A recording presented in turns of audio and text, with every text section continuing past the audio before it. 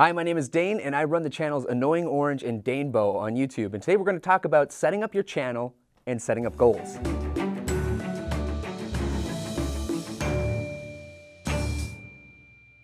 Annoying Orange started back in October 9th, 2009. I actually uploaded the first video to my main channel, Danebo.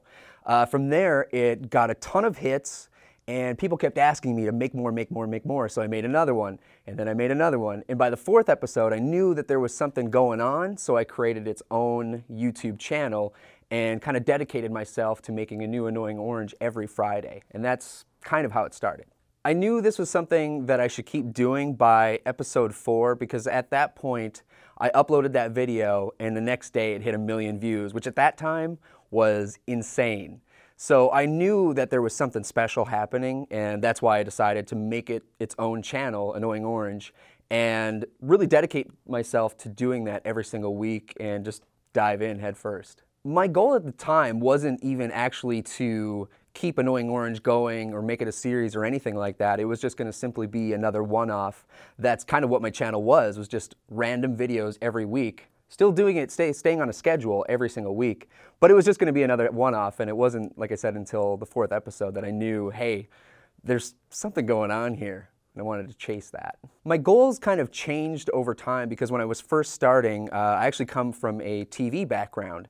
I worked for uh, some reality TV shows, and while they were good experiences, I wasn't quite the thing that I wanted to do. So when I started my YouTube channel, that kind of became my goal, was to just be creative, try and build an audience, and at the same time, I was getting all this client work for different businesses and doing any kind of work that I could do when Annoying Orange took off that really allowed me to just say, hey, I'm not going to do anything else except this. And that was one of the hardest decisions to ever make because it's scary, but at the same time, it was one of the best decisions I ever made.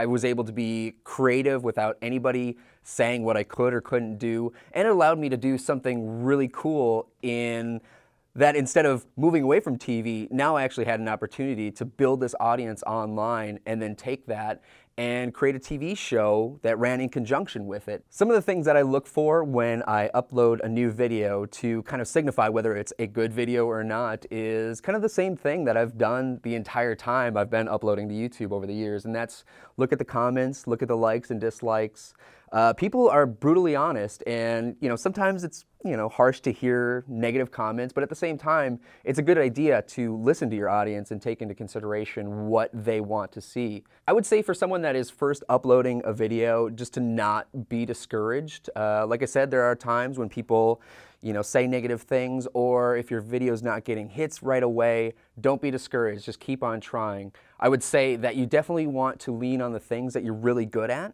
So if you're really good at playing guitar, integrate that into your videos. Like me, I was really good at cheesy special effects in After Effects, so that's the angle I went with, and it's worked well for me.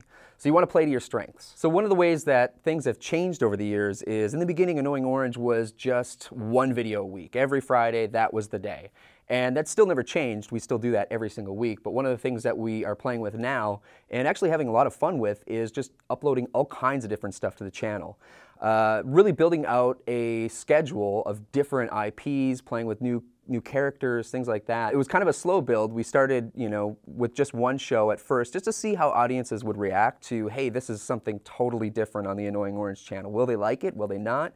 And we were pretty lucky in that they were very receptive because it was kind of, you know, the content we're creating is same in tone as Annoying Orange. So uh, it wasn't too far of a departure. But that's one of the things that we are really having a lot of fun with is, you know, really building out that schedule, making the whole channel kind of a destination for all things that are kind of fun and silly, cartoon violence, all that stuff. So one of the big roadblocks that people have is they come up to me and they say, hey, Dane, I don't have this fancy technology that you have. You have these awesome cameras and special effects software. I can't make videos like you. And it's kind of funny because when I was younger making videos, all we had, I had two VCRs that I used to, to edit all of my stuff and a crappy camcorder that my parents had. Uh, but I still I did whatever I could to make videos. Nowadays, kids, you know, everybody has an iPhone or some other cell phone. The cameras on these things are way better than anything I had when I was a kid. So I would say you were only limited by your imagination. So don't don't think that you don't have the technology to do it because you do.